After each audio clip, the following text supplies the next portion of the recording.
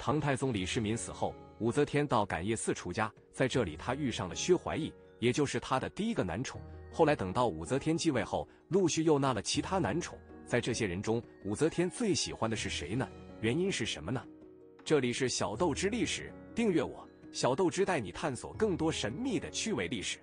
第一个男宠冯小宝，薛怀义原名冯小宝，他是武则天第一个在历史上有记载的男宠。薛怀义原是一个在市井卖膏药的小贩，因身材魁梧健壮，被选进宫，成了千金公主的情郎。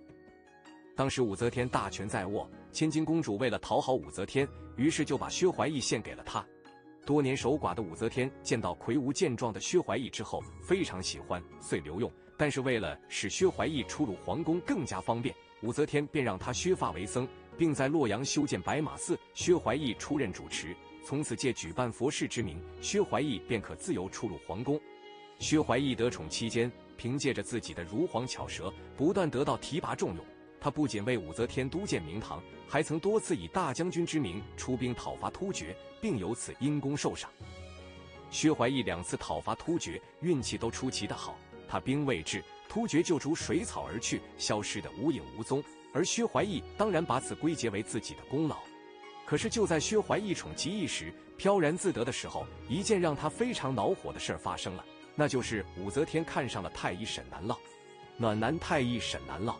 武则天自与沈南涝好上之后，薛怀义越来越受到冷落。终于有一天，心怀妒忌的薛怀义一气之下，把自己曾为武则天督建的明堂烧了。可是对于这件事，武则天不仅没有治罪于薛怀义，并且还让他再次兼修明堂，因为他首先觉得这不是一件光彩的事儿。再者说，薛怀义之所以这么做，也是出于对沈南涝的嫉妒，这恰恰的说明了自己的魅力依然存在。这一次，薛怀义虽然得到了赦免。但是心中依然不忿，他经常私底下宣扬武则天的丑事。武则天知道之后，终于忍无可忍，设计将其杀害。薛怀义死了以后，沈南涝成了武则天唯一的宠。可是已过中年的沈南涝虽然仍文雅风流，但已身心虚弱。他极尽所能的想服侍好武则天，但已力不从心。因此没过多久，武则天便陷入了寂寞郁闷当中。功夫了得的小鲜肉。在薛怀才、沈南球相继去世后，武则天又开始陷入了寂寞的生活。这时，太平公主把有贵族血统并且精通诗词歌赋的张昌宗引荐给了武则天。张昌宗英俊潇洒，血气方刚，深得武则天的喜爱。同时，张昌宗也十分具有谋略。为了扩大自己的权力，他将自己的哥哥张易之引荐给了武则天。二张兄弟都英俊貌美，血气方刚，使得武则天的拥有了数不清的良臣。三人愉悦的相处了八年。张易之、张昌宗是一对亲兄弟，唐太宗时凤阁侍郎张九成的儿子。二张兄弟当时都只有二十多岁，并且风度翩翩，相貌非凡。在他们成为武则天男宠之前，二人都是武则天的女儿，太平公主的偏夫。后来太平公主因见母亲寂寞难耐，出于对母亲的孝心，遂割爱，将二张兄弟献给了自己的母亲。二张兄弟除了长得漂亮之外，还精通音律，善弹能唱。最厉害的一点还是他们侍寝的本领高超，因此武则天一得到他们就宠爱非常。那么武则天宠爱他们到了何种程度呢？举个例子就知道了。有一次，武则天的孙子李重润、孙女永泰公主和孙女婿武廷基因不满二张仗势霸道的嘴脸，私下里议论。不想这件事被二张知道以后，告诉了武则天，而武则天竟因此一下子把三人全部处死了。由此可见，当时武则天对二张的宠爱到了何等程度。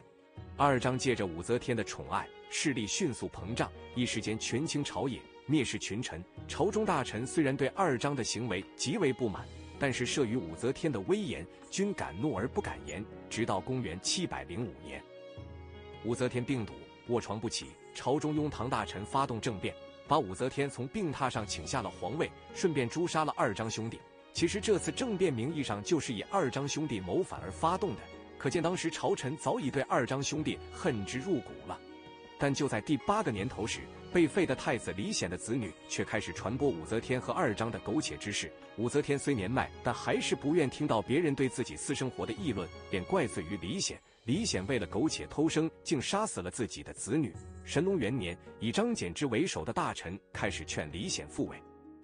不但使武则天退位，还带兵传入武则天宫中，将二张兄弟杀死。使得二张兄弟身躯不全，惨死宫中。几位男宠的结局，在这里首先讲一下武则天的感情生活。武则天第一次进宫，唐太宗招她入宫的时候，估计她和唐太宗没什么感情，因为唐太宗比她大二十七岁，而且她这种性格并不是唐太宗喜欢的性格，唐太宗并不喜欢这种刚烈的，所以他俩可能没什么感情。后来认识了唐高宗以后呢，那时候唐高宗是太子，那时候他们俩可能就有了一些感情。虽然武则天有人说是为了通过唐高宗把他拔出苦海，将来有一些什么什么目的，但是可能也不能否认他和唐高宗还是有一些感情的。武则天一生写了很多诗，这些诗大部分和政治有关，但是也有一首有点私人感情的诗。这首诗叫《如意娘》，据说是他在感业寺维尼的时候写的，叫看朱城碧丝纷纷，就是看着他原来穿的石榴裙，把红颜色都看成绿颜色，为什么？思念弄得他眼泪哗哗，眼泪模糊的颜色都看错了。憔悴之离为义君，为了思念你，我自己都很憔悴了。不信比来长下泪，我流下的眼泪都滴到石榴裙上。我不知道你相信不相信。如果我们在见面的时候，你来开箱子看看你的石榴裙，这上面斑斑的泪迹，就说明了我对你的思念很有感情。这诗写的，那么所以说他和高宗可能还是有感情的。所以唐高宗李治才能不顾乱伦的指责他，依然把武则天从一个尼姑让她长了头发接回宫中，最后立她为皇后。所以武则天还是一个比较重感情的人。那么到唐高宗死了以后两年。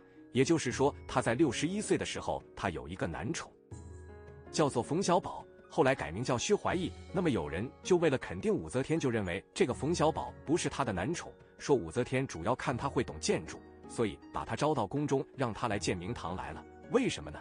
因为你看武则天都六十一岁了，她不会有什么生理需要了。有人就这么认为，但是这种说法呢，恐怕还是需要商榷的。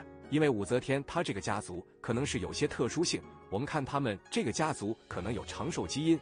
你看武则天活了八十一岁，他的妈妈杨氏活了九十二岁，武则天在六十八岁的时候又长了两颗新牙，所以她这一年改了年号叫做长寿。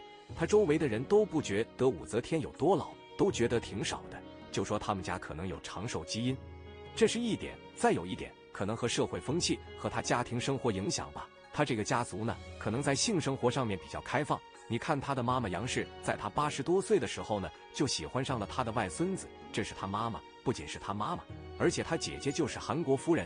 韩国夫人后来和唐高宗也好了，不仅韩国夫人和唐高宗好，而且韩国夫人的女儿魏国夫人也跟唐高宗好。所以武则天最后把魏国夫人也给他下毒药，把他给治死了。那武则天的女儿太平公主也是跟很多人好。所以她这个家族可能有这个特点，所以从这两方面说，所以武则天在六十一岁的时候有男宠，并不是不可思议的。但是我们要说，武则天虽然非常胆大自信，但是她终究不敢像男皇帝那样公开的设四个妃子、三十六个嫔妇，她还是为了掩人耳目呢，还是把薛怀义把他作为一个僧人，让他进宫帮他搞建筑，以这个名义让他到宫中来。他宠薛怀义宠了大概十年左右。然后呢，又有一个御医叫沈南求，但是这个人呢记载不多。他宠了十年之后，他就把这个薛怀义给杀了。